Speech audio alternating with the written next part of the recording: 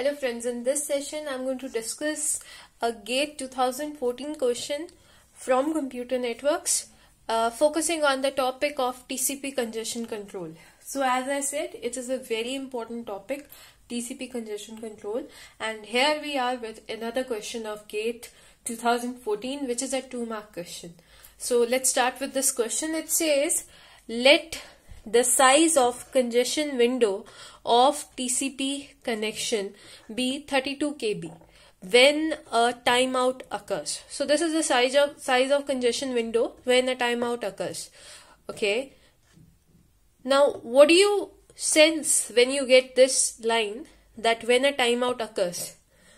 It basically means that now you need to find out a new threshold and now you need to set the window size to minimum right? Now that minimum may be 1 MSS which is maximum segment size or it might be the minimum segment size given to you in the question itself. So uh, when I say minimum question uh, segment size I am basically directing you all to the previous question discussed by me in the previous session which was from gate 2012 so you can please view that one. That was also a very important question again from the same topic.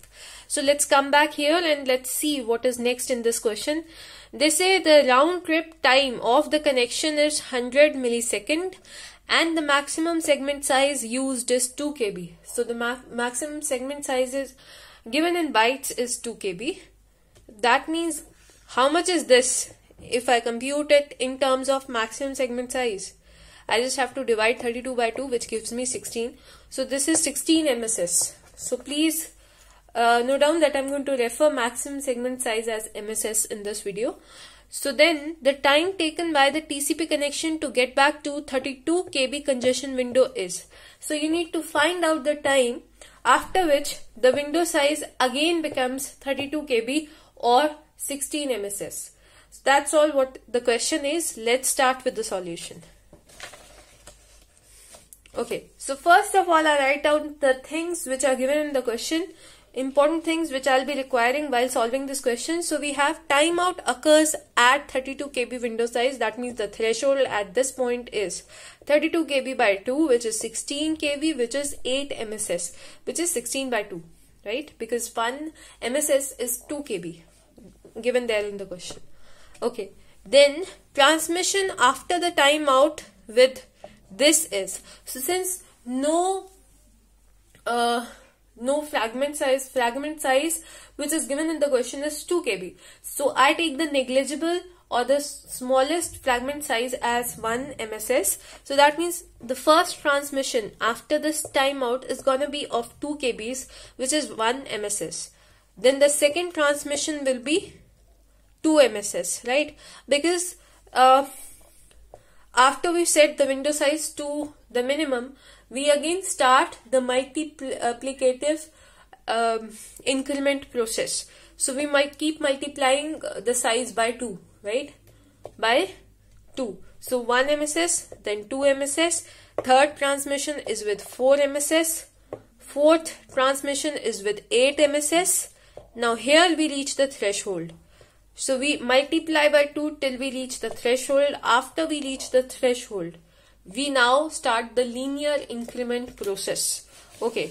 So now lenient, lenient increment phase starts and now the fifth transmission is with 9 MSS, 6th, 10, 7th, 11. Now up till where do we need to reach?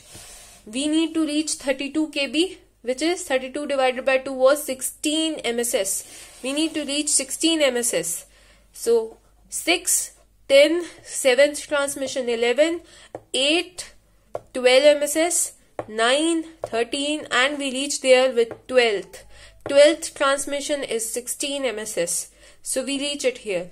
Now they asked us the time after which we reach this. So 12 transmissions one transmission means one round trip delay and the round trip delay is given to us as 100 millisecond, right? So 12 transmissions will take 12 RTT round trip time which is equals to 12 into 100 milliseconds which is 1200 milliseconds or you can say 1.2 seconds so that that is the answer for this question which was gate 2014 2 mark question. And i'm going to see you all with some more important questions.